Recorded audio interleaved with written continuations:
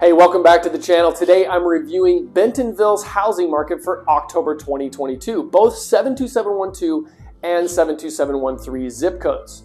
What we saw in October, from October last year to October this year, we saw an average increase in list price of over $156,000. Lots of new builds in our area, lots of growth in our area. If you like percentages, that's an average percentage increase of 28%. The average price went up 28% from October last year to October this year. During the month of October here in 2022, we saw 158 homes come to market.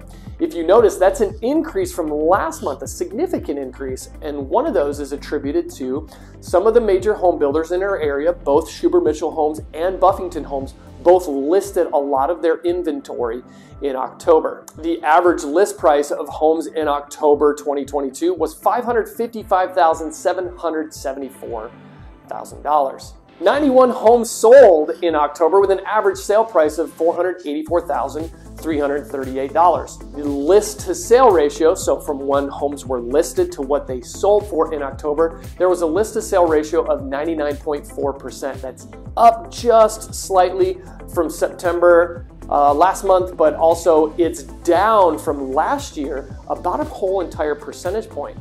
But what that shows us in our market is that we're seeing a little bit of a retract. Of course, if you're seeing and noticing what's going around our world compared to what's going on here locally in Bentonville, we have a little bit of isolation here. Let's not be uh, taking that for granted, but also knowing that we do have a little bit of an isolation here from some of our major employers. Where things are going forward, October, November, December, going into 2023, from what I've seen in the previous decade of selling homes is Q4 and going into Q1 of the next year, it's always a little bit slower of a real estate market as it's darker and it's colder.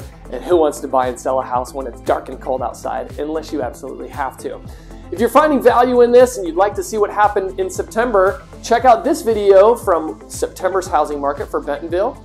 Or if you're curious about what things to do around Bentonville, check out this video where I talk about my top five things to do in Bentonville, Arkansas. Thanks again for watching. Have a great day.